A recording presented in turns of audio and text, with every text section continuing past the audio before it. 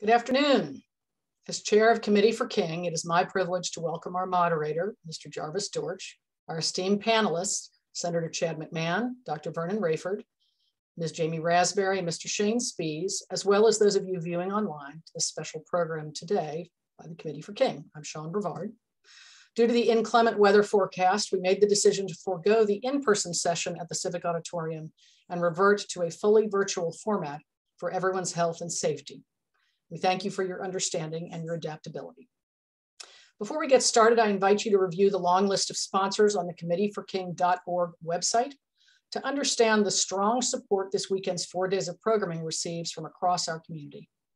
These events are simply not possible without our sponsors. Tomorrow's MLK Day program is led by our partner organization, the Modern Beauticians. The program begins at 10:15 a.m. at the former VF Factory Mall on South Eason Boulevard with scholarship recipients, drill teams, and a balloon release, and that'll be followed by the motorcade at 11 a.m. We also appreciate the Volunteer Hub of Northeast Mississippi for their work on the Socks and Skivvies Drive, which ends tomorrow, making the holiday one of service in honor of Dr. King. I want to frame today's session as an outgrowth of last year's series of panel discussions on systemic racism and its effect on education, health and wellness, banking and finance, and criminal justice. Those segments remain on our website for continued review. Committee for King is dedicated to the legacy of Dr. Martin Luther King uh, Jr., keeping it alive and relevant to today's society. Last year's thoughtful sessions offered insight into the modern day challenges of the triple evils of poverty, racism, and injustice. Dr. King gave his life to those very challenges. We believe that the opportunity for open, honest dialogue and fair, respectful exchange of ideas can make a positive difference for all of us. We also believe that the health of all of our citizens is critical to the well-being of each of us individually. We're all connected. As our state leaders grapple with difficult decisions during the current legislative session, today's panelists will shed light on the topic of Medicaid expansion in Mississippi. We thank you for your attention. And I now turn today's program over to our moderator, Jarvis Dortch. Thank you, Jarvis. Thank you, Sean. Um, and thank you to uh, everybody on the committee for putting this together and especially for the invite to help moderate and um, bring this discussion on. Um, as you mentioned, my name is Jarvis Dortch. I am currently the executive director of ACLU of Mississippi, uh, prior to that, I was a member of the Mississippi House of Representatives and also a health attorney with the Mississippi Health Advocacy Program. So my role today is just to create dialogue and allow our great panelists to share their thoughts and experiences. But before that, i am also charged with setting the, the table for today's discussion on Medicaid expansion. So I'll just give a brief summary um, of where we're at on Medicaid expansion and what we're going to be talking about today. Medicaid is a public health insurance program that is administered by the states and financed jointly by the federal and state governments. In Mississippi, the federal government usually pays around 75% of our Medicaid costs. The state, repay, the state pays the remaining share. Prior to the Affordable Care Act, most states limited their Medicaid programs to covering low income children, parents, seniors, and pregnant women, as well as disabled persons. Um, Mississippi pretty much followed that, that path as well um, and has a very limited current Medicaid program. The ACA offered a new financial arrangement so, so states would cover adults. Under the act, Congress paid 100, 100% of the costs for healthcare for low-income adults. That match would ultimately fall to around 90% where it is right now and currently stands. Uh, in 2012, the US Supreme Court upheld the Affordable Care Act but in doing so, it did limit the, the law's Medicaid expansion provision. The court held that a state could turn down the expansion and not lose its current Medicaid funding. Um, as a result, some states have chosen not to expand Medicaid, but to date, 38 states have opted to expand. Of the 12 non-expansion states, eight are in the South, including Mississippi. So that brings us to today's discussion on Medicaid expansion and to our great panel. Uh, I'm gonna briefly recognize our panel and allow them to, um, to come forward with some opening comments, and then we'll get started on the discussion. Our first panelist is Senator Chad McMahon. Chad was, Senator McMahon was first elected to office in 2014 as an alderman and is currently serving as state senator to District 6, which is made which is made up of uh, parts of North Lee and Western Itawamba counties. Senator McMahon.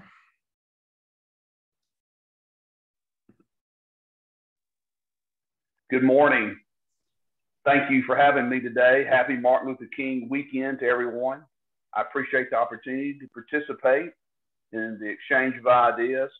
Uh, as chairman of local and private in the state senate, I've had an opportunity to travel to every count, visit every county in Mississippi over the past two years. And I've come to the conclusion that you've got to have three things to have a successful community. You got to have access to good schools, you got to have a local bank branch, and you absolutely have got to have a healthcare facility. And uh, so I, I, I, what I'm interested in is bringing those three components across all of Mississippi so that we can attract people to move to Mississippi, to have a family here and a career and, and bring a business. And so I'm happy to be here with each of you today and thank you for this opportunity. Thank you, Senator McMahon. Our next panelist is Dr. Vernon Rayford. Dr. Rayford is from Holly Springs, Mississippi. He has a doctorate in pharmacy from the University of Mississippi and a doctorate in medicine from University from Vanderbilt University. He works as a primary care physician in Tupelo and also serves as medical director for the Advanced Practice Clinician Fellowship Program at MM, NMHS and Good Samaritan Health Services. Dr. Ray, Dr. Rayford, uh, thanks for joining us today. Thank you. Thank you, Jarvis. Um, I'm humbled to be on a panel um, I am a physician, and I'd like to bring the perspective of a physician taking care of people, um, both in my primary clinic, but also as a physician who's actively involved in the community with many of the safety net programs, particularly Good Samaritan Health Services, Catch Kids, Tree of Life, and just to talk about um, there's an aspiration as a physician that I take care of patients regardless of insurance status. Um, and that's a lifelong professional aspiration that I have. I want to do the best I can for everybody, regardless of their insurance status. The reality, however, is that insurance status, being insured, having access to insurance really does matter and it does make an impact on the care of people. And the other reality is safety net programs are not enough for the number of people that need healthcare.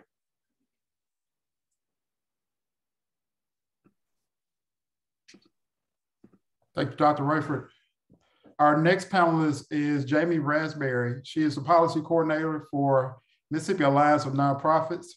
And as in, in that position, she leads the policy unit, manages the education, health, workforce development, family economic, security affinity groups that focus on increased learning, collaboration, and funding around critical policy issues. Thanks for being with us. Thanks, Jarvis. Um, happy to be here and excited to really bring the perspective of our uh, nonprofits and our philanthropy community across the state and specific to Medicaid expansion and how um, the our nonprofits really are carrying a lot of the weight that underinsured or uninsured people in Mississippi um, have. And so if you think about um, someone who doesn't have insurance, but they have health issues or healthcare needs, um, in the especially in rural communities, they're going to these local nonprofits and looking for support and services there. And so it's just a um, on top of the programs that our nonprofits are already providing, it's just kind of an extra burden that they have to pick up some of the pieces um, and the funding that that they don't have to provide these services. So it's kind of the cyclical effect that's going on here. So I'm, I'm really excited that we get to represent our nonprofits and our funders across the state and kind of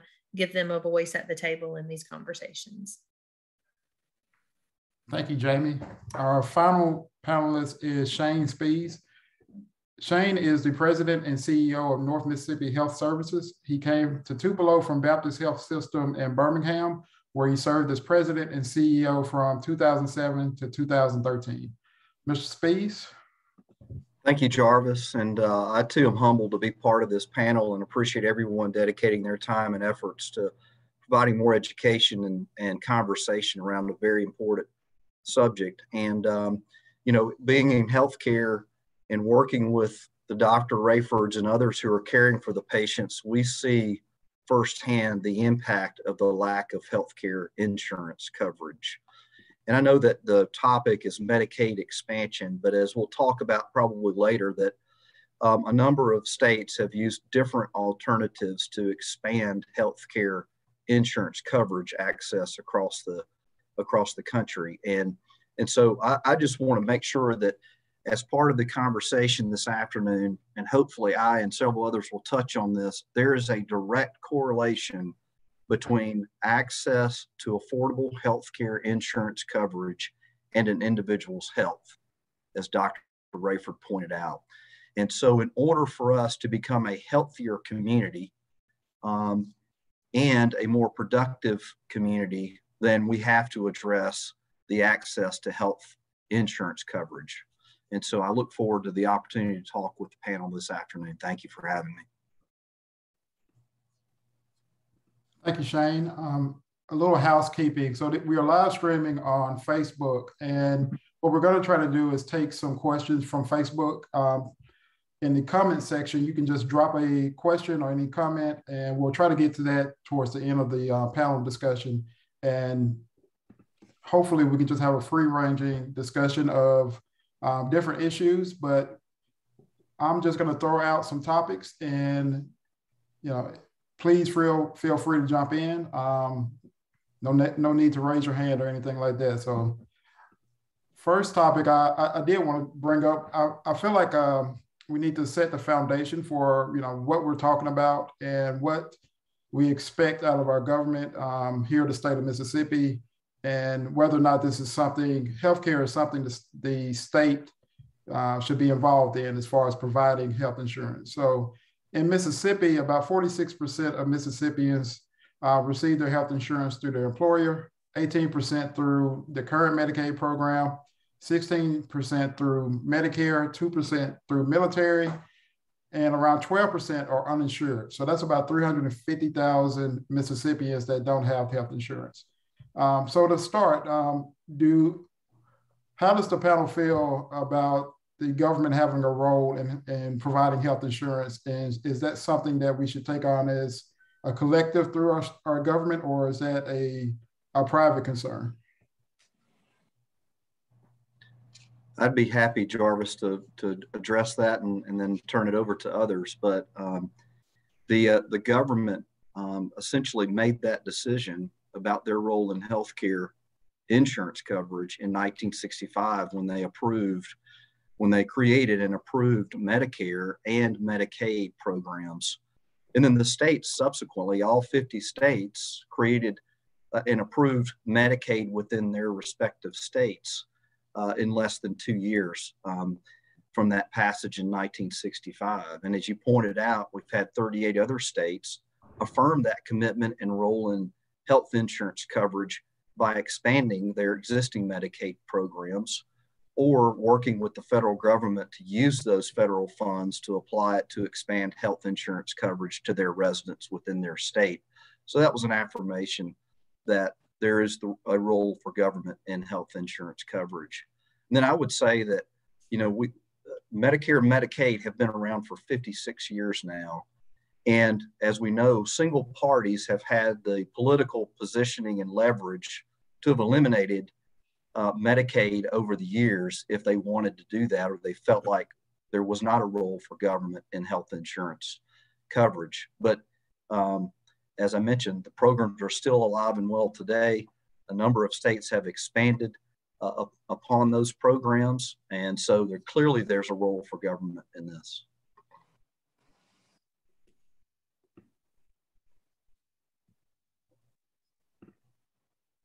Any comments from any of the other panelists?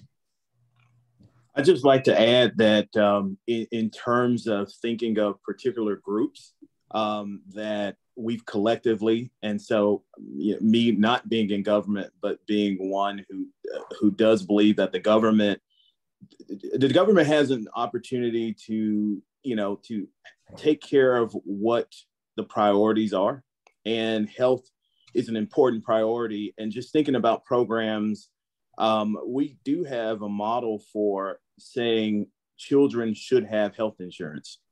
And the CHIPS program and Medicaid program, we've done a great job in many states um, of improving the coverage of children. And the question I have as a physician who is trained in pediatrics and internal medicine, what happens at age 18? You know, what happens at age 18 that we now no longer say you need the healthcare coverage? And so why, you know, the my question is always, you know, what changes at age 18 that we all agree that children need? Um, children need access to healthcare and th- to get that access is through insurance, um, immunizations, well child development, um, behavioral um, kind of monitoring, school monitoring. Those are so important. And my question for those, you know, who, you know, my question or my concern is that at age 18, the need doesn't stop.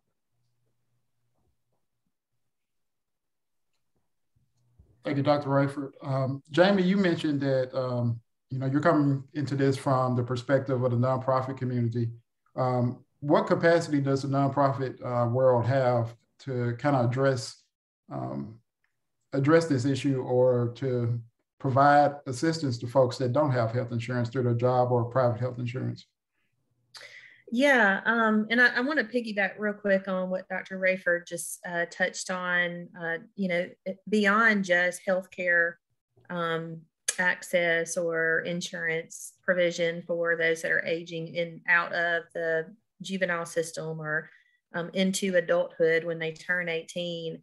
You know, there's a there's a lot more resources that are kind of cut off at that age that really need to be provided. Um, you know, especially children that are aging out of the foster care system or aging out of like Palmer Home for Children.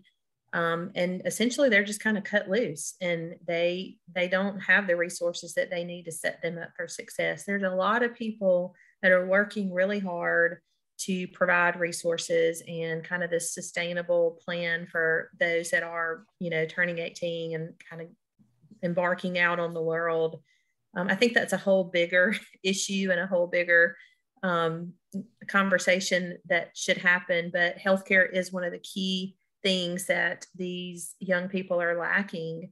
And, you know, most of them are kind of starting out in, um, you know, low paying jobs or entry level positions where they don't, they're not provided insurance through those jobs. And so I think addressing that um, is a great place for us to start us collectively as you know just people that have influence and um, getting our uh, key decision makers to understand that that's that's a gap right there it's not just about uninsured people that have had insurance in the past or have been eligible for medicaid or whatever but like you know kind of touching on what you said um, shane about um, i'm sorry not Representative McMahon about, uh, you know, if we want people to thrive in our state and we want our communities to be successful, that's the generation that we need to set up for success that we're not doing a very good job of right now. Um, so I'll pivot back to your question and just talking about our nonprofits in the state that are really kind of the catch-all, especially in some of these small com- communities where we've got um, most of them, most of them are faith-based commun- faith-based organizations, faith-based nonprofits, churches, um, you know, just really grassroots on the ground, kind of in the trenches, picking up the slack everywhere that they um, that there is a need to do that. And so they are uh, feeding people. They are, you know, right now everybody's doing uh, vaccines. They are meeting basic needs of helping people pay their light bill, helping people pay their gas bill, um, providing services for children, um, you know, going into this whole virtual learning world that we've been in for the last year, two years as well. And so our nonprofits are really struggling with being able to just stay on top, being able to just keep up, being able to have the funding um, to continue the services that they were offering before. And now you kind of layer all of these other issues that our world is, um, you know, facing right now. And it just puts more of a burden on our our nonprofits. Um, as I mentioned, you know earlier, that there nonprofits rely on individual donors and um, some corporate donations, some foundation grants, and some government grants. But that's really the you know how they sustain the model that they have. And so if you are just kind of covering the basis of what you're providing, and then on top of that you layer the needs that are continuing to knock on your door, but you don't have the funding to support that. Um, you know, they just end up not being able to do everything that they could because they don't have the staff, they don't have the funding, they don't have the capacity, and the needs just keep coming. And so, you know, what we do at the Alliance, you know, our mission is to serve our nonprofits across the state, help build capacity with within their organization.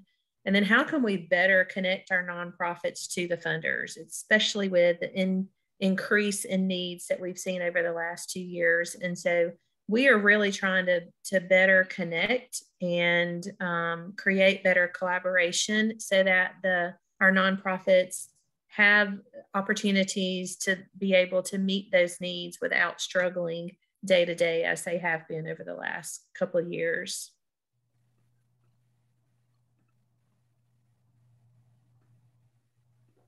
Thank you, Jamie. Um, that um, that question about what happens at age 18 that Dr. Rayford mentioned, it uh, prompted me to look at some of the numbers that we have um, gathered about who's covered with Medicaid and, and the CHIP program. So currently, uh, about 700,000 Mississippians are covered by Medicaid or CHIP.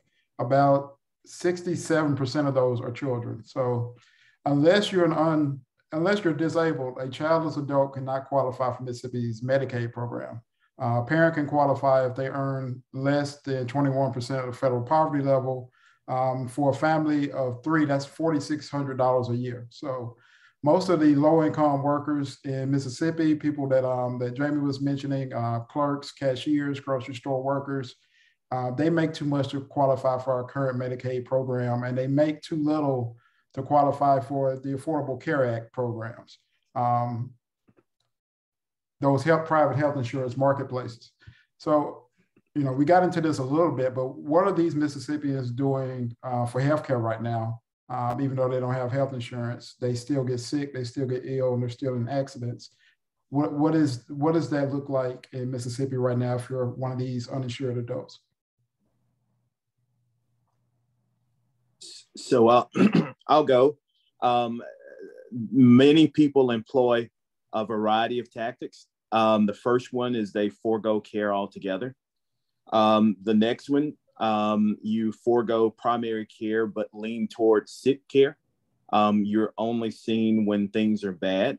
Um, by not having primary care, when things go wrong that may not be the emergency, you end up utilizing emergency services like the emergency room for things that could have been handled in primary care. Um, and, and, and then the other scenario is, um, um, which, you know, again, there's just not enough. You access those safety nets in the community. Good Samaritan Health Services, Catch Kids, Tree of Life, and there are many more. I'm just talking about three that I know of in Tupelo. You access those services. Um, again, it's just not enough of those services each of those services are not for profit. Each of those services are competing for, um, you know, the the charitable donations and the, the support of, of clinicians.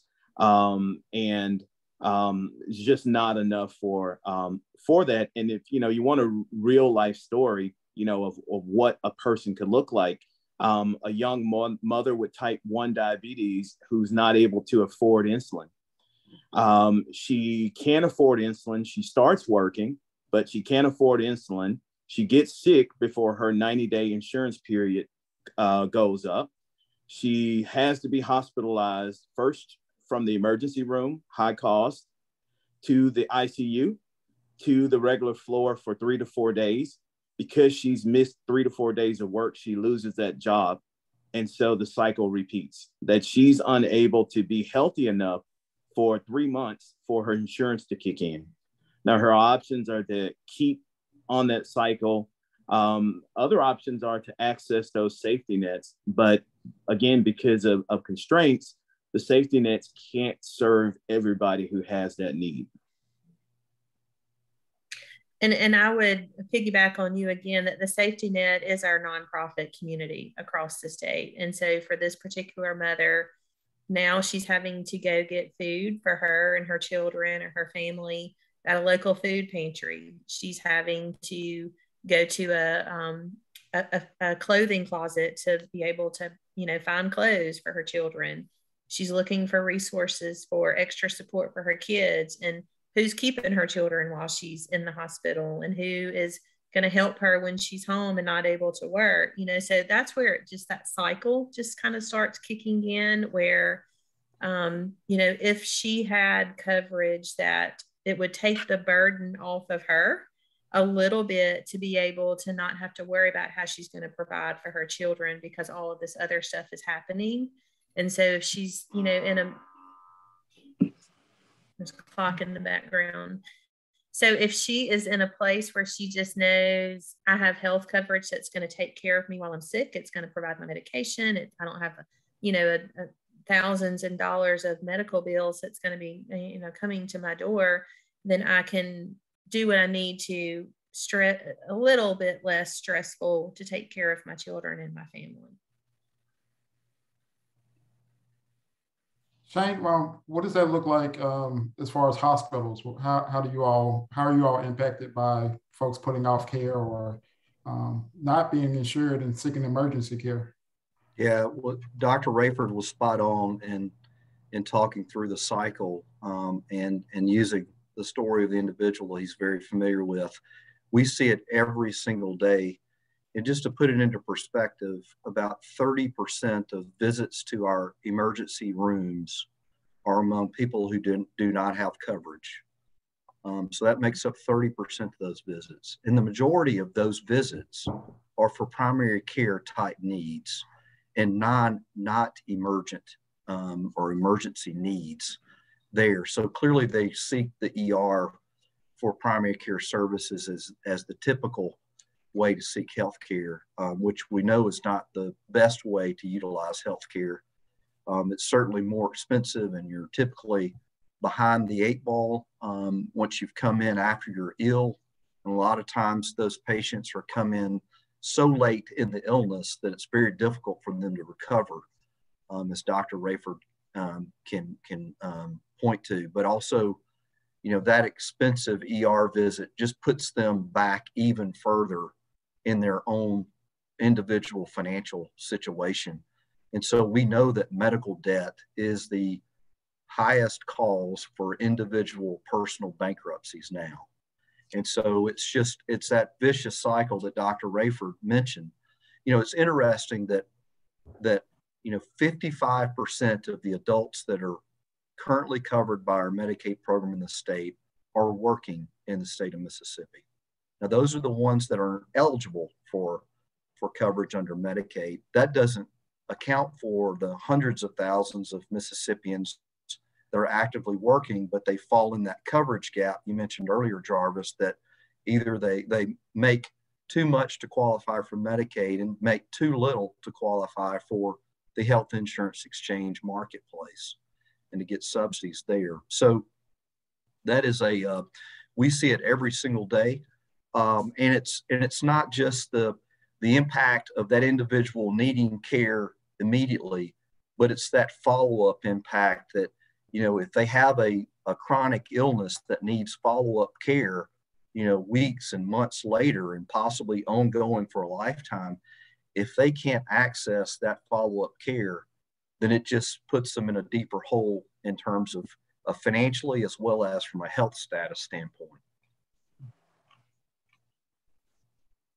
Senator McMahon, you mentioned in your opening statement about um, you know healthcare being one of the economic drivers that you look at. This issue of um, folks putting off care or not being able to get treatment, how do you think that impacts the state economy overall?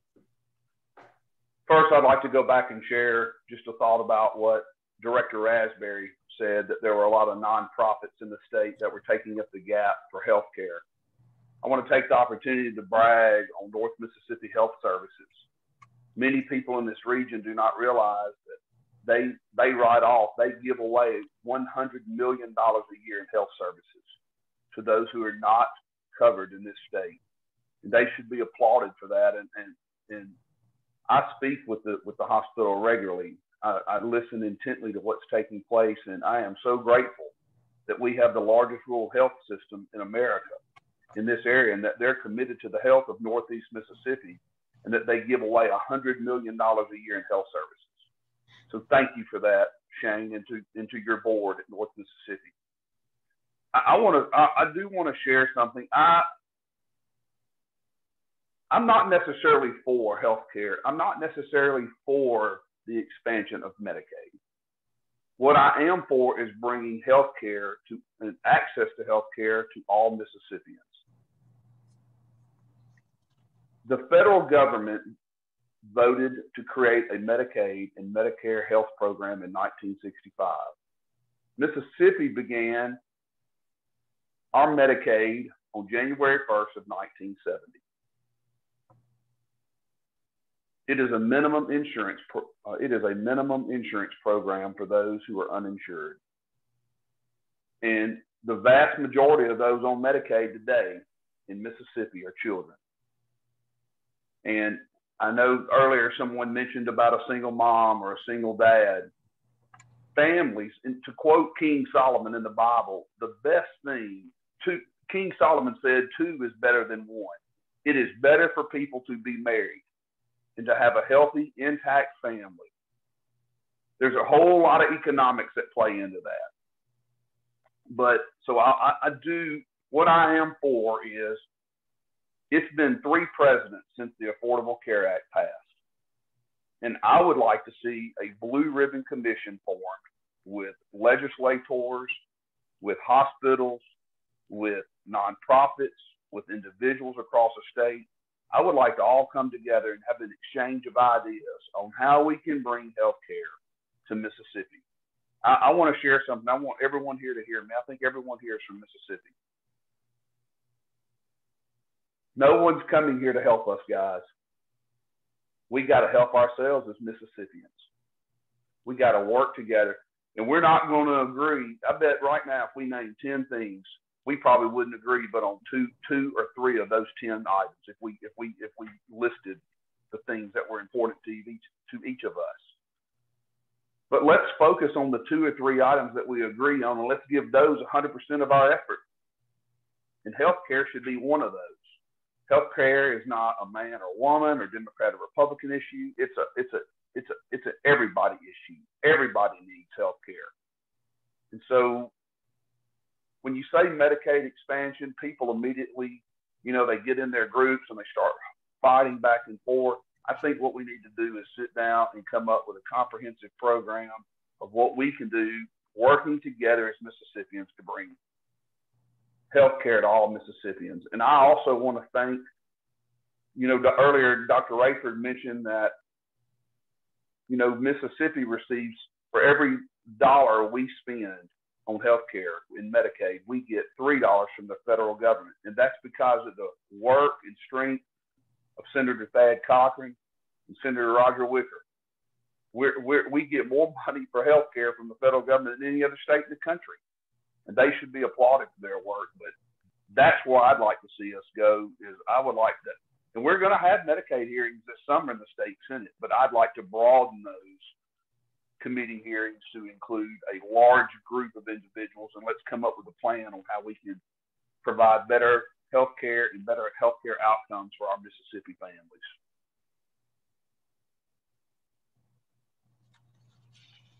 Thank you, Senator. Any um, comments or responses from any other any other panelists? Yeah, Jarvis, if I could just add on to that, I, I just want to make sure that that uh, it is a complex issue. Um, and uh, so there are really no simple solutions. If so, we, we would have implemented those years ago. Um, but I want to make sure that that we keep and try to simplify a very complex issue into several components. And this is how I see the relationship and the importance of health insurance coverage or health coverage because coverage leads to access. Access leads to better utilization of health care, and that ultimately leads to better health. And so, you know, I don't want us to say that just giving somebody access to health care is it. It's they have to have coverage, health insurance coverage, call it what you want, but it's essentially health insurance coverage that affords them the access. And so, you know, that's that's the the point of this discussion. And to me, that's where it all starts is that if we if we want ultimately to have a healthier public, we have to have a better health insurance coverage system in the state. Let, let me jump in and share something what Shane just what Shane was explaining. Um, Medicaid is the largest budget item in the state budget. And there was an idea, I, this is not my idea, someone else brought this to my attention. And they said, you know, Chad, for what we're spending on Medicaid, we could provide a private insurance, a private insurance policy for every single Mississippian. That's an incredible statement in itself. And that is part of why I want to have a, med, a Medicaid or medical understanding of what's taking place and how we can provide every Mississippian health care coverage, whether that be through a Medicaid or a Medicare or through the private sector. But if, if, if we continue to break into groups and just argue over how to proceed instead of all meeting together and having a plan on how to proceed, there's a lot of good ideas out there. We, we just need the opportunity to sit down and talk about it. And, and that's my position. And, and that's why I'm interested in what we can do to provide coverage to every Mississippian.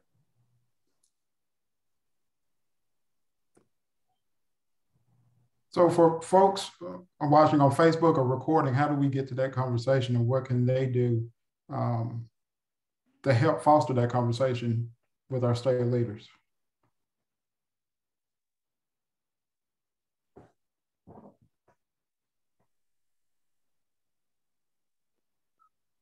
Well, Mr. Dortch, you know, uh, I would like to start that conversation. I've called for public hearings on Medicaid for the last two years, really for the last four years.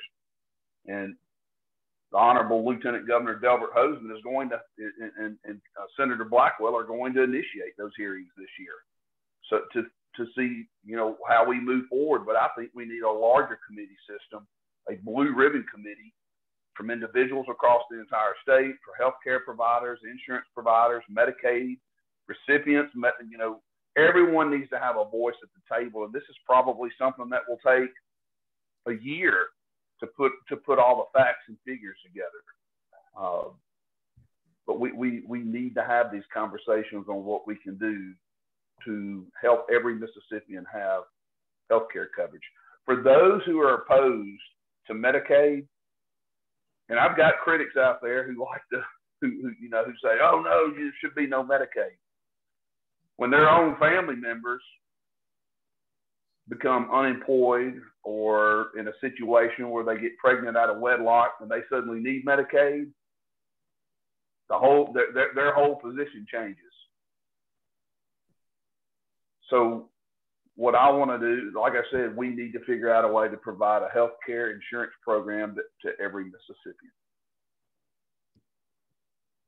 And I'd like to add to that, you know, I think a, a good starting place is really just to create a, a, a better narrative around what Medicaid is. Because even for myself, before I was really aware and educated on the healthcare system, you know, when I heard Medicaid, I just thought poor people. I mean, that's what my mind initially, you know, thought. And I think so many people still think that when they hear the word Medicaid. And so I think we just need to kind of rewrite the narrative about what it is. Um, and I'll just share personally that last year, I worked for a for profit healthcare organization based out of Nashville, Tennessee for 13 years. And at the onset of COVID was on was put on furlough for several months and ultimately um, you know was laid off at the end of that. And during my furlough, I did not have health coverage for many months. And I have a I'm a single mother of a four-year-old. And during that time, I'd applied for Medicaid, if not for me, but for my daughter, just in case she needed it. You know, being young, you just don't know what may happen, and was denied based on my income. And, um, you know, for several months, I just didn't have coverage and was just hoping and praying that we were healthy and nothing happened and we didn't get COVID and, you know, no accidents or anything. Um, and then when I was laid off, I did get a severance, which reinstated my coverage during my severance period. Um, and up until I took the job with the Alliance last year, you know, there were many months where I just was thankful that nothing happened. And, you know, I think that's part of the narrative that we need to tell too. It's not just for poor people, it's not just for um, unwed mothers, it's not just for the elderly people, it's for people like me that just because life happens and things in the world happen that I was put in a situation where I just didn't have coverage for a period of time. And thankfully, you know, I had a safe, I have a, a safety net that if something did happen, we would be okay. But it did add another level of stress to my life, just on top of everything else that I was going through at the time. And, you know, it really made me think about all the others that um, they don't have a safety net if something happens they they don't have another job on the horizon that would provide health coverage for them or their family and so i really think that as we have these conversations um, and as the um, our leaders and our you know the legislative process is you know open and willing to talking about it that the narrative just really needs to be changed and really better shared so that everybody on both sides really understands what Medicaid is and the needs that it would cover for those that are in situations like I was. Director Rasberry, that is a great point. Any one of us could lose our jobs and be hurt in a car wreck, and you'd have to have that minimum coverage. Um, my own family in 1985, I, I personally was hurt, and we didn't have health insurance. And uh, I had a, a, a, my family had a 20. I was in the, um, I guess I was in the ninth grade. I had a twenty thousand dollar invoice with North Mississippi Medical Center, and twenty thousand dollars today doesn't sound like a lot of money. But I see Dr. Rayford laughing. He knows in 1985, twenty thousand dollars would buy two Chevrolet pickups. Yeah. Today, it wouldn't even buy a piece of one not a new one. But it was a very scary time for my family, and it scarred me. It, it really did. It scarred me for my to see my dad and my family, my, my mom and dad go through that.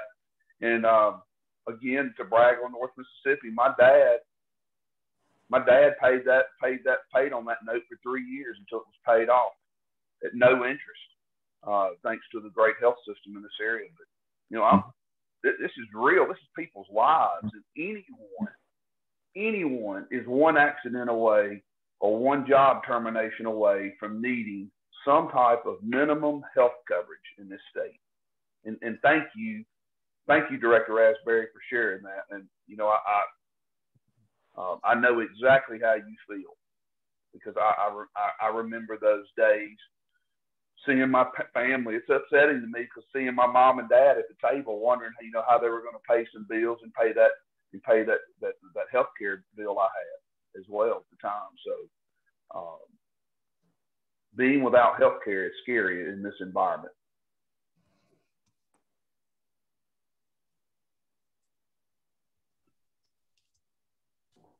Thank you. Um, I think there's one thing I'd like to bring up about the, the discussion around um, having a broad discussion about this issue, you know, in 1969, um, as Senator McMahon mentioned, Mississippi did not take up the Medicaid uh, program when it was first passed in 1965.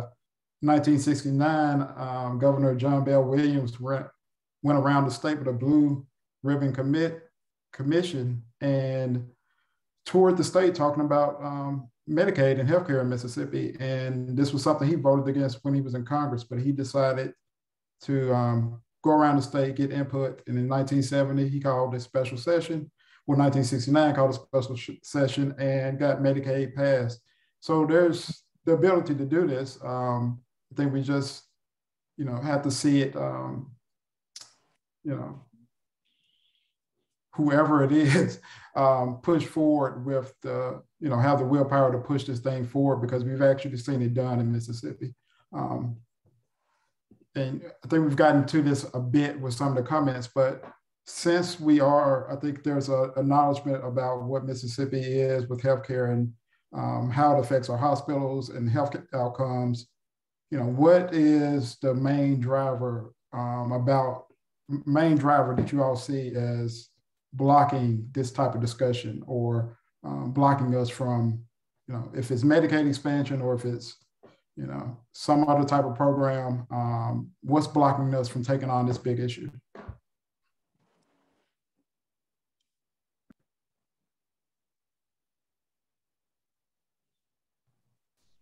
Well, I'm happy to kick it off and, and then uh, let others chime in. But um, I, think um, I think number one, it, it's a uh, it's a community need that's com- competing against many other community needs that the legislature has to deal with, and and I can appreciate um, the volume of work and the number of issues that they have to to deal with. So I think that's a factor um, that plays in it. And I think Jamie raised up a good point earlier in terms of the perception of who Medicaid covers and what it does is part of the issue. And, and I think it, it, it, it makes people think that it's less important than it really is.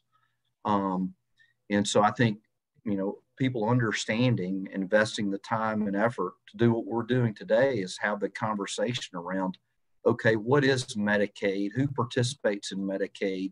And what are we missing as a state, um, given where our current Medicaid program is and its eligibility? You know, what do we need to do in addition to that um, to give folks access to health coverage and therefore access to health care? But the third factor is purely politics. I mean, we all we all know that, um, and um, whether it's because of um, opposition to a certain law of, of American, I mean, of the Affordable Care Act, or it's the terminology Medicaid expansion. It's just purely politics because if you look at both the business case and the health case for expansion of health care coverage, uh, it's a no brainer. Um, and that's why you've seen 38 states pass the expansion in a variety of different forms, as, as Senator McMahon pointed out earlier. Some have expanded on their traditional Medicaid program. Others have used the private insurance market to expand coverage across their state. Um, so clearly there's there's a needs being met out there and, and hopefully we can dive in and talk about I mean there's there's over 600 studies that have been done in the short decade that Medicaid expansion has been in place over 600 different studies that have analyzed the impact of expansion of Medicaid in those states from a business standpoint, from a financial impact on the state standpoint, to the individual's health standpoint. So those studies are out there and provide a lot of clear insight that it's a very good policy decision for the state to make. It's very good for individuals' health, well being, and financial security and ultimately it's positive for the state's economy. So um, I'll I'll stop there and then allow others to chime in. And, and I'd like to I'd like to add, you know, the question of why aren't we? I think if you look at 1965 Centers for Medicare, Medicaid, the Medicare and Medicaid, and if you contrast where Medicare is now and where Medicaid is now, you know, one thing that comes up is how the program has been run since 1965. And so, as a physician, you know, I will be honest and say that my patients with Medicaid coverage, taking care of them is challenging because there can be some restrictions in terms of number of prescriptions, number of things that are accessible that aren't there with other insurers. Now, I'm not saying that only Medicaid has has restrictions. As a physician, I've learned that you know there, there's restrictions. There's different sets of criterias, um, different kind of approaches with different insurers. But I do think that historically, how Medicaid has been promoted how it's been run in contrast to how Medicare has been promoted and run, you know, adds to the argument where you may have physicians who are acutely aware that my whole county will not have a hospital because there's not a lot of good coverage. Um, you know, hospitals are shutting down because of large, the population can't afford it, they're not covered.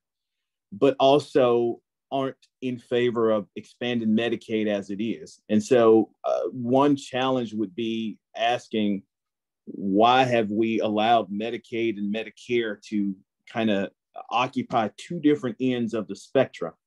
Now it's it's really really politically untenable to make any restrictive changes. I think to Medicare, you know, to pull something out of Medicare would not be something that's very very popular but on the flip side, Medicaid, you know, you know, essentially that's that that's been run differently. And so, you know, I would say that one challenge has been just kind of has been how Medicaid has been um, just how Medicaid programs, and I'm speaking of Medicaid in different states. So I trained for residency in Massachusetts at a time when the precursor to the Affordable Care Act was in in in place. So you know, if you allow me to call it Romney Care, so I trained in Massachusetts, also trained in Tennessee, um, and as well as Mississippi. And in all of those places, Medicaid had a different feel or a different run or a different perception than Medicare in all of those places. And I think that also influences the the discussion because for many there's a knee-jerk reaction to Medicaid as it is. And so, you know, you're saying, do I want as restrictive practice as I'm in, you know, involved in? Do I want that to increase? So on that issue, like that's, I mean, I hate to be so blunt about it, but does it come down to, you know, people, Medicaid covers a lot of children, low income folks, people that don't vote can't vote. Medicare covers older folks who vote at a much higher rate than the general public. This just comes down to, you know, these people vote. So um, politicians are more um, responsive to their, their demands and needs. And, and you get that as far as you see that as a doctor, um, how it plays out.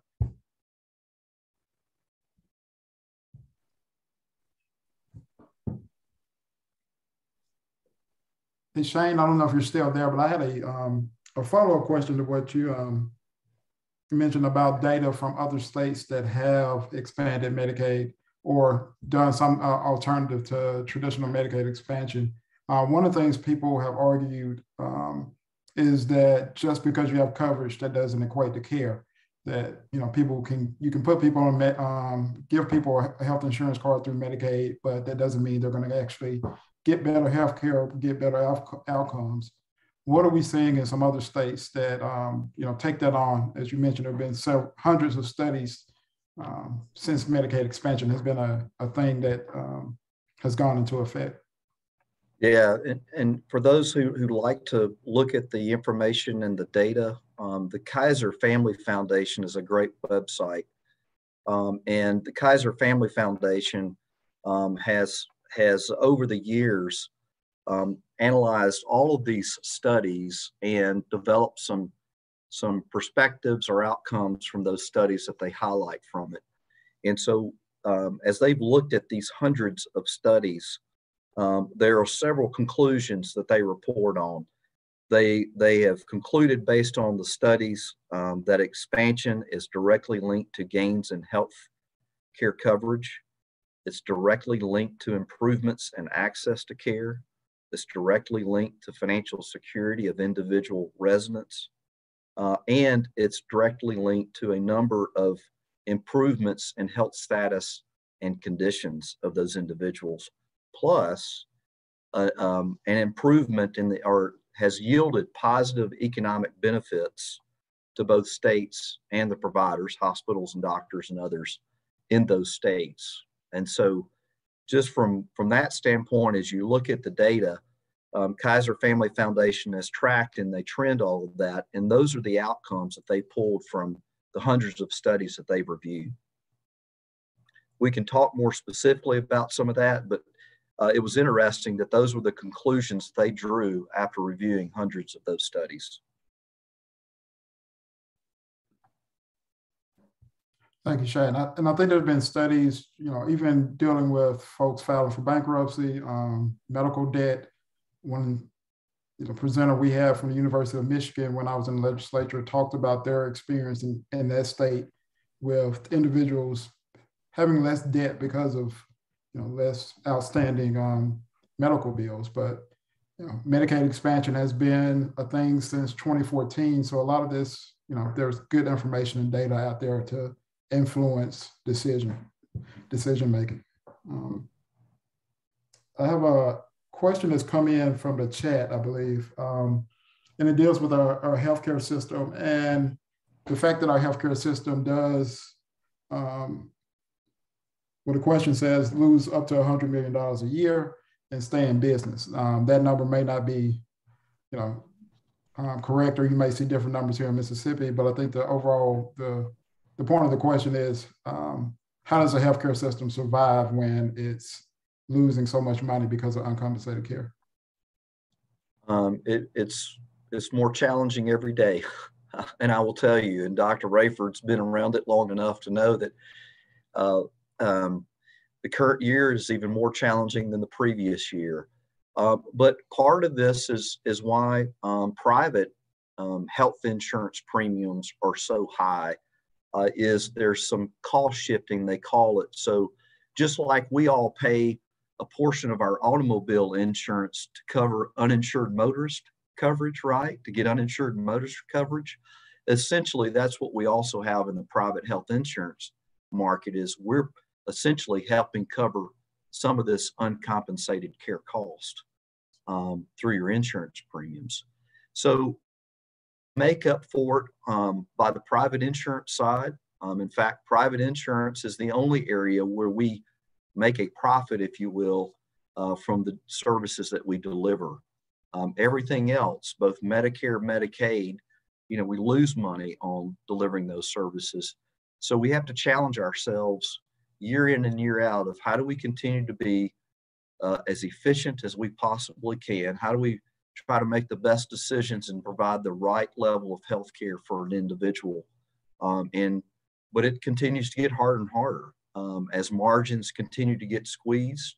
Um, we can no longer rely on that cost shifting that's that has occurred in the past in the private health insurance marketplace because the insurance companies are no longer willing to absorb that or pass along that to their insured members. So that's even becoming more and more challenging um, today. I'd, like to speak uh, again from the perspective of our nonprofits in the state here too. And as we are uh, the statewide organization for nonprofits, we ourselves are a nonprofit. And so every month, um, you know, when I have to pay my my portion of my insurance for myself and my daughter, I'm just like, oh, I hate having to pay all this every month, but I understand that it's necessary uh, just to help our health system continue to provide services.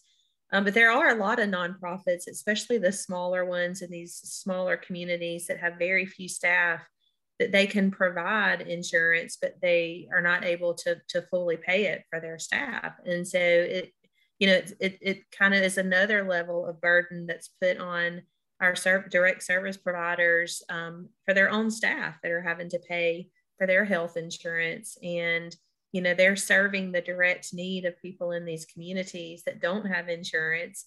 And they they they understand it. They get it because while they may have coverage there's still a burden on them just individually um, and so I, I want to touch or ask a question, I guess, re- regarding the closure of our rural hospitals in the state and just the crisis that, that that is across the country right now. And I know just in Mississippi, um, I think we've had about six close in the last, you know, 10 or 12 years. And, um, you know, I know a lot of them are still at risk for closing across the state. And I think I saw that there was like 600 million in uncompensated care in 2019 as a direct result of that. And so, um, how do you in these communities in these rural areas where these hospitals and these health systems are closing you know it kind of perpetuates a whole other issue where they're having to drive for care they're having to they're not receiving care at all especially if they're uninsured and so are you seeing in your health system uh, taking in a, a, number of people from these communities where they've lost a rural hospital or lost, lost access to care um, because you are kind of in a rural area outside of the Tupelo um, city. So, what does that look like for you in your health system?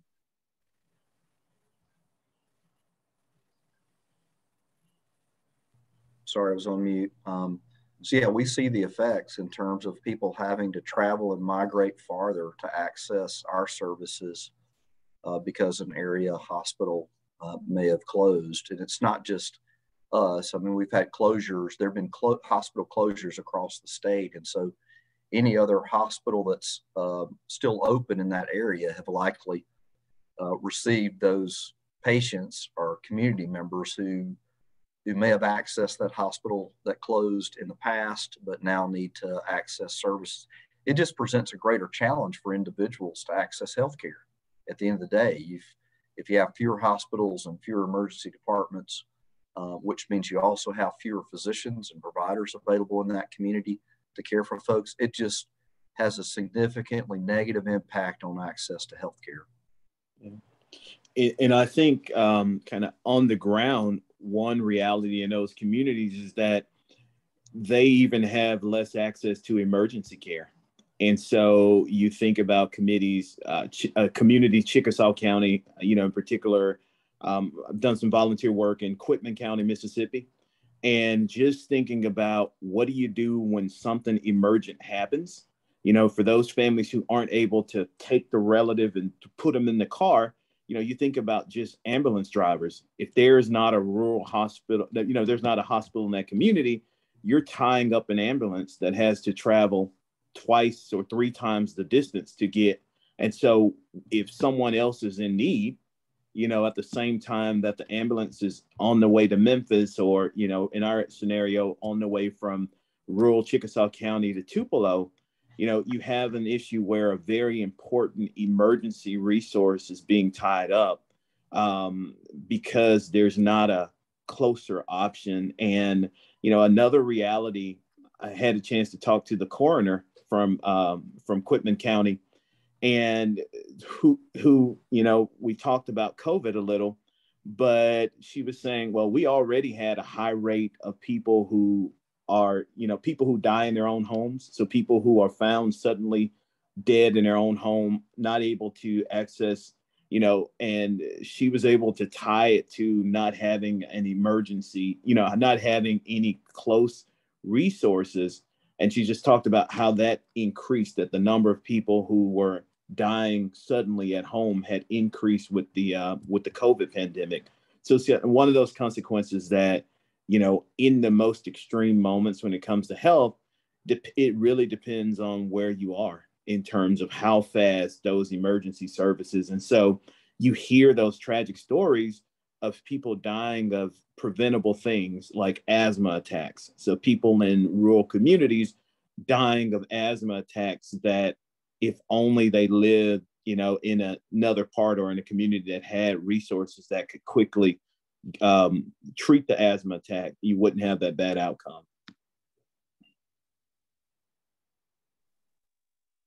Dr. Jarvis, did you know that the Quitman County Hospital just reopened? Yep. Yep. Great. Well, I was I was fortunate to be part of that. That goes back to what I was sharing with you that uh, we've got to help ourselves. A local private Mississippi investor partnered with the Board of Supervisors and they reopened that eight eight room eight bed hospital with 12 minutes left on the CON.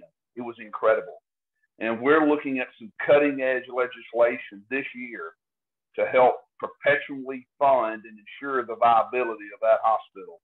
It was a game changer for that county to reopen that, that eight bedroom hospital.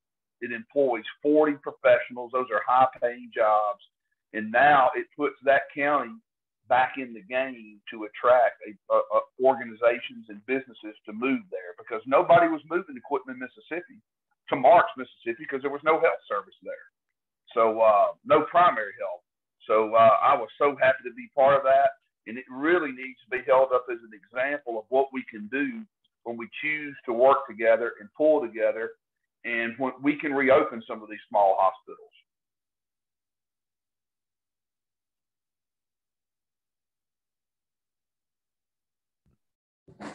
Thank you, Senator.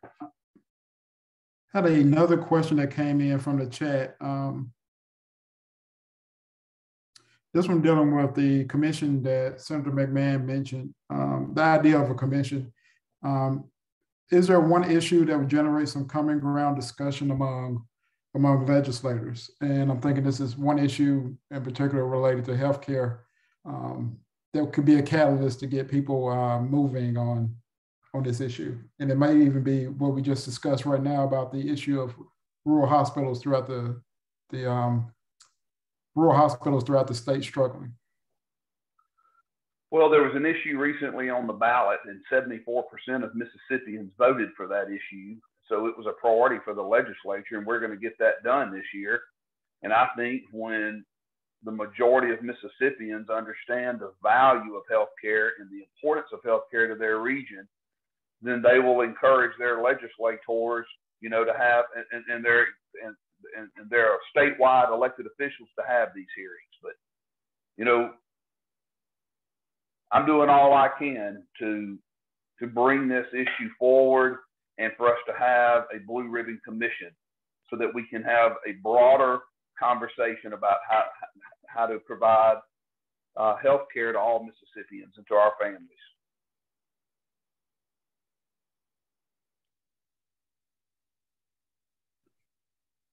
Any comments from the other panelists?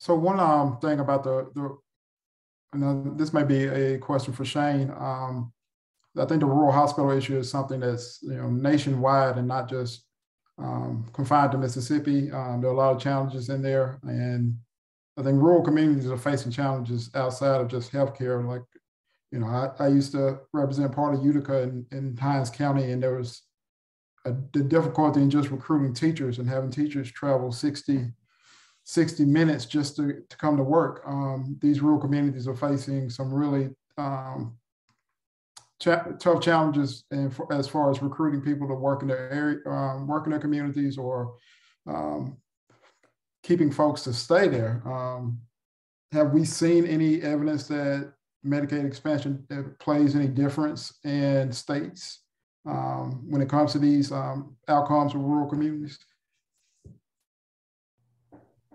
It has, and part part of the studies that I referenced earlier have looked at that, and uh, and they've shown that in particular, um, expansion of health coverage, um, we refer to here today as Medicaid expansion, has greatly improved the economic situation within the rural areas. Um, because you're dealing with rural areas that primarily have an older population, of course, less population, but also lower income uh, in the areas. And so the expansion again gave them access to that coverage, which gave them access to care. Um, and also it supported providing healthcare services in that local community um, and keeping that that service and keeping the, those revenues in that community uh, to support jobs and to support um, the tax base and that sort of thing. So there's clearly a, been a direct relationship uh, and a positive impact in those expanded states um, in the rural markets. I don't think we've really got into the specifics when we talk about, you know, alternatives to, to traditional Medicaid expansion. Can you speak a little bit about what those um, alternatives look like and look like looks like in other states that have um, taken up this option?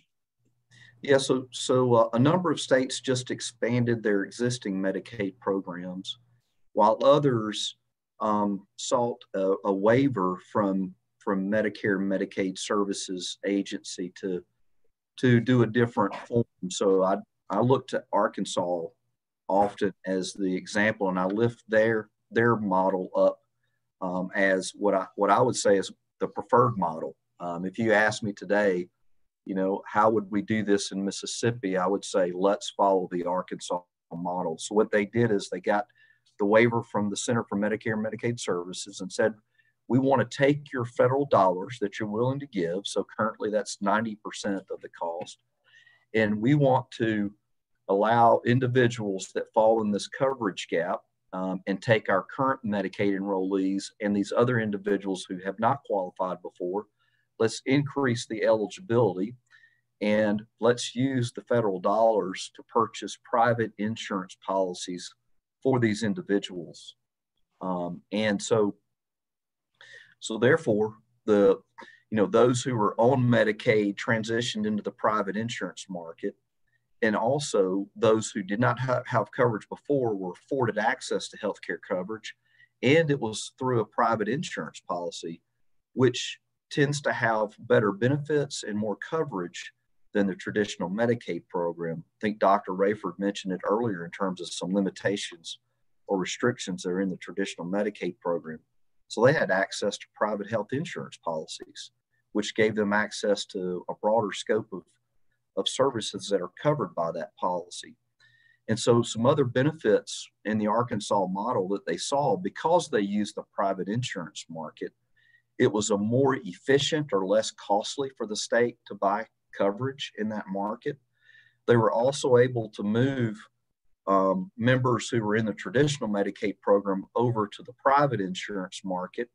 So those individuals, so the state now received 90% uh, of the cost of that coverage versus under the traditional Medicaid program, as you pointed out before, Jarvis, they may only get 75% of that cost covered by federal dollars. So they were gaining from that switch by you know 15% just by switching the individuals. So they achieved and, and realized significant savings. And so Arkansas, for example, between 2018 and 2021 forecasted over $400 in savings to the state program um, through that private option that they did. The other benefit in u- utilizing the private insurance market was it increased the uh, number of people participating in the private insurance market, which decreased the risk. Um, and, and so it, it, it stabilized commercial healthcare insurance premiums across the state. Um, and so when you have more people participating and there's more money flowing into it, and you've got more people participating in the in the risk pool, it becomes um, it requires less money to cover the cost of healthcare. Um, and so there are a number of benefits. And the other the other reason I point to to Arkansas is is you know we're our two states are very similar in terms of population, demographics, the rural nature of our states, the types of um, uh, um, industries that we have throughout the state are very similar. And so Arkansas has had one hospital closure in the past decade. And as Jamie pointed out earlier, we've had what six hospitals closed in the last decade in the state of Mississippi. So clearly, there's a there's a positive um, benefit to rural healthcare based on that model. And so the actual cost of the expansion for the state of Arkansas has been a net savings to the state, not an actual cost to the state. So the state has not had to um, has not had to come out of pocket, if you will, to pay for that 10% um, of the expansion. So Shane, I know you, um, you and other hospital CEOs have been well versed on this issue and been advocates for some type of healthcare coverage expansion. Um, what has been that recept- What has been the reception with state lawmakers when when you talk about these issues? And well, of course, Senator McMahon yeah. can jump in and and and tell us about his experience too. Yeah, and, and my per, my perception of of that is that um, um, when legislative leaders um, spend time looking at this and, and look at the various various options that are available and look at both the the business case for expansion as well as the positive impact it could have on residents in Mississippi, um, that uh, some light bulbs go off and they start seeing that this is, you know, this is something that we should do. Um, but they all live in the political reality that we live in today. And so not everybody agrees with, quote, Medicaid expansion.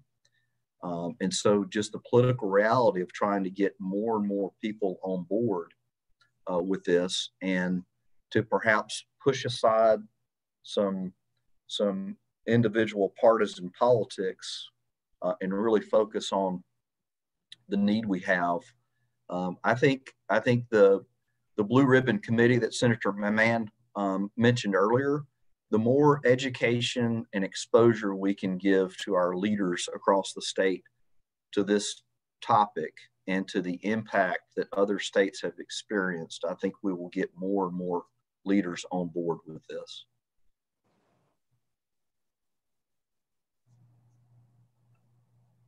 Senator McMahon, any comments on that? Well, uh, most political leaders are trying to reflect the will of the people they represent. And I don't, I don't know if a majority of Mississippians are at the point where they would like to see some type of health care, access to health care program expanded. Uh, the area that I represent, North Lee and Itawamba County, I, I can tell you it's about 50 50. I poll this issue pretty regularly with civic clubs, and when I do uh, conduct polling, uh, this area is is open to it. But one of the reasons I think this area is also open to it because the lar- it's an economic issue. The largest employer in this region is North Mississippi Health Services, which has nearly 9,000 employees. So it affects a lot of it affects a whole lot of families in this area, uh, the, the, healthcare industry. So I, I think most people are just trying to reflect the will of their district. You know, uh, I know it was very it was a very partisan issue when it passed. Uh, when when the Affordable Air when the Affordable Care Act passed, it was very controversial because it was really passed by one party and didn't have any bipartisan support. But guys, that was three presidents ago. And so I think it's time for us to sit down. And now that we've had time that 38 other states are doing this in some form, I think it's a good time for us to to sit down together as a family, Mississippi, like like we are. I like to say Mississippi's not a state; it's a family. We should sit down as a family and discuss how we can how we can expand service and access to healthcare uh, insurance service to all Mississippians.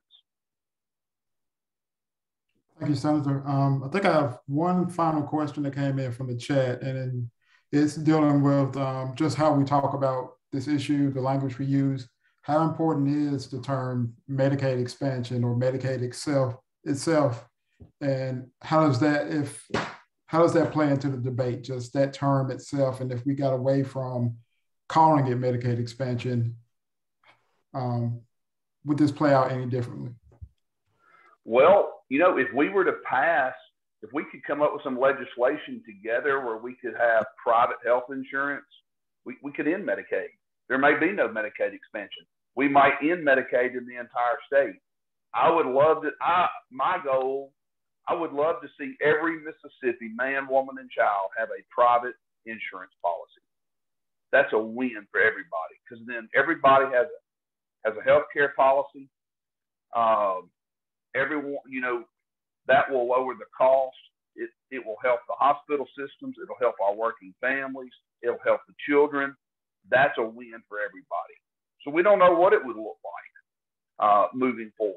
but until we have these discussions, um, until we have a blue ribbon commission and have these discussions, then I think that we're just going to continue to, to volley this ball back and forth until we come up with a plan to move it forward. Any other comments from panelists on that issue?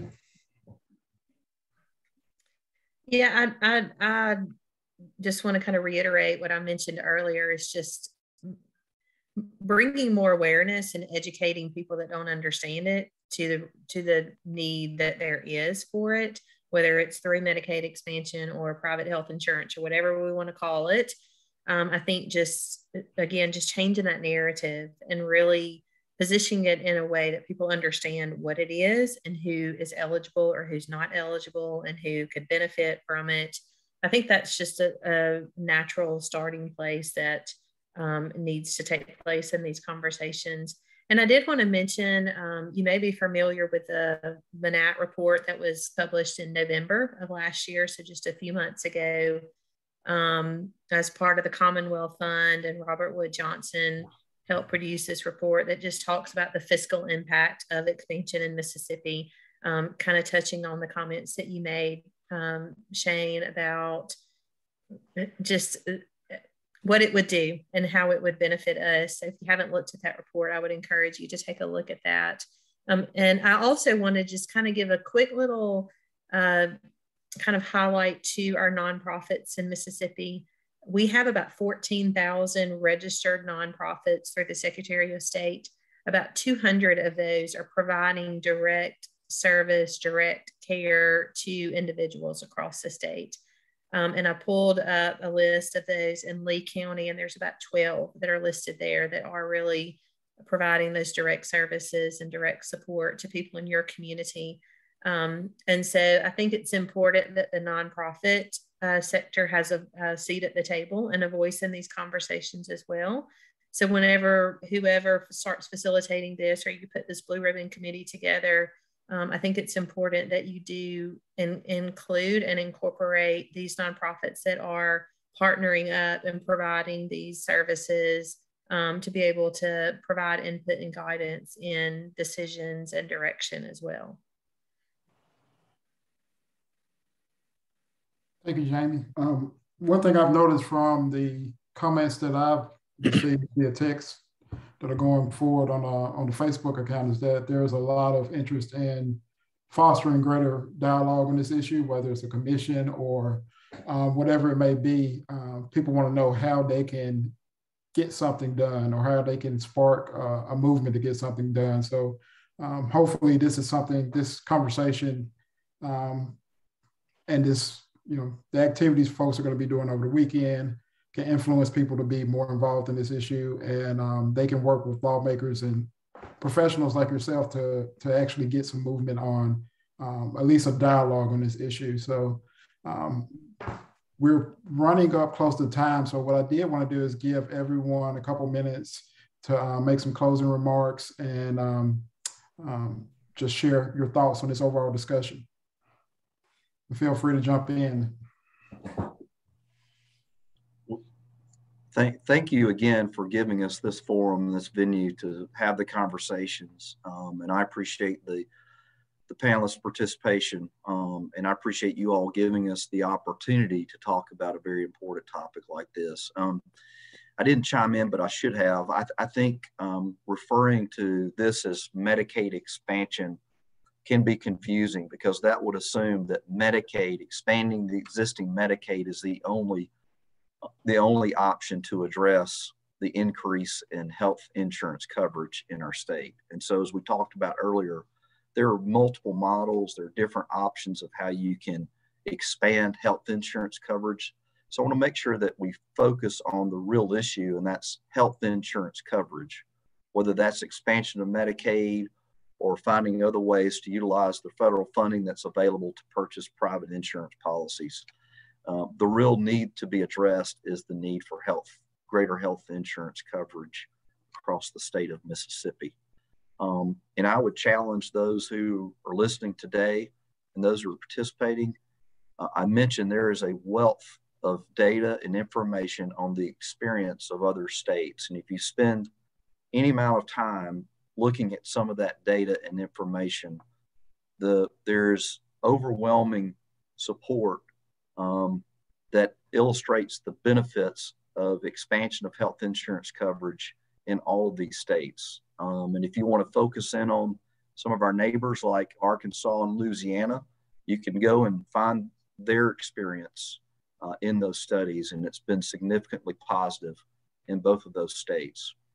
Um, I'll also say that there, there are plenty of options available where this would not cost the state um, out of pocket, if you will, out of its um, out of its general uh, revenue uh, to support a program like this. So I don't think we should um, see cost as the biggest limitation for us expanding health insurance coverage in the state.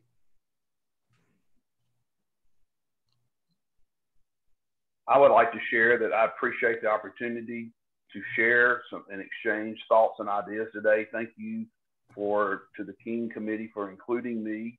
I'm humbled to do that, uh, to, to have participated. Uh, again, I'm not necessarily for Medicaid expansion, but I am for, for, for providing insurance to every Mississippian. We need to have this conversation, have a blue ribbon commission on this, so we can get because we could end Medicaid if we come up with a private sector solution. That could happen. Um, but I do want to say, in the in the spirit of uh, this MLK weekend for Dr. Martin Luther King, Dr. Martin Luther King was a pastor. He he he believed the principles, the teachings of Jesus Christ that said that you should love your neighbor in spite of whatever color they are. That you should love your neighbor as yourself. And uh, Dr. King had a he had a dream that in this country that people would be judged on their character and not the color of their skin. And my favorite quote of Dr. Martin Luther King's is that he he chose to love because hate was too great a burden to bear. And I love that. And I'm asking all Mississippians to see each other not as a state but as a family. Let's talk to each other, be kind to each other, and work together for the betterment of our state no one's going to get 100% of everything they want, but we can find compromises to move our state forward together in the 21st century. And let's live up to our let's live up to our reputation as the hospitality state where everybody's welcome. So thank you so much, uh, Mr. Dortch, for this opportunity. Uh, Ms. Brevard, thank you. I appreciate being included in the panel. Thank you all for what you shared today. Um, I I agree with your sentiments there, and I think you know an easy thing to do is just to be better listeners as well.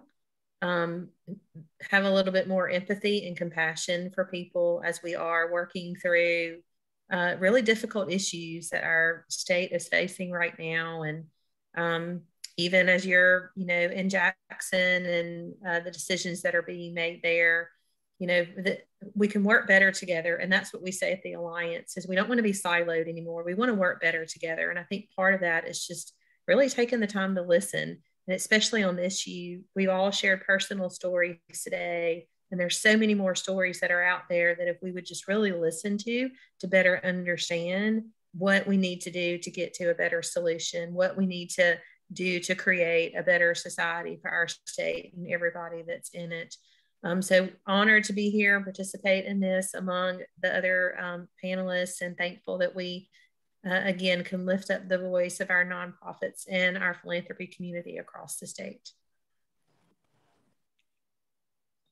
And I'd like to close by thanking the Committee for King for inviting me to join this panel and share um, my experiences and the stories of some of the people I've come across um, I want to close by saying that as a clinician, as a physician, my lifelong professional aspiration is to take care of people as if their insurance didn't matter. Um, the reality is, it does matter now. Um, and my hope is that when I'm looking over a, a career served, that we move to the point that we we move to that point that we took insurance status away from one of the things that determine how well care is.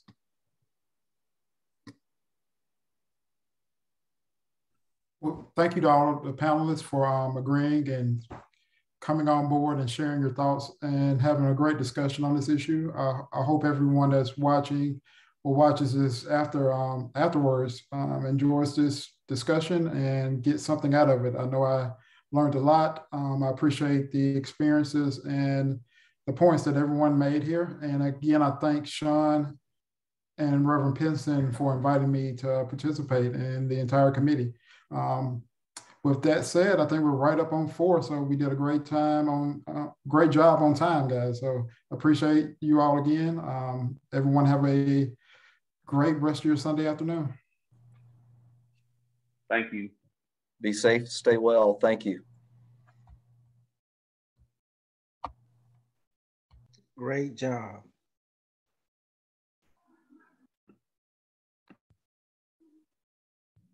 Uh,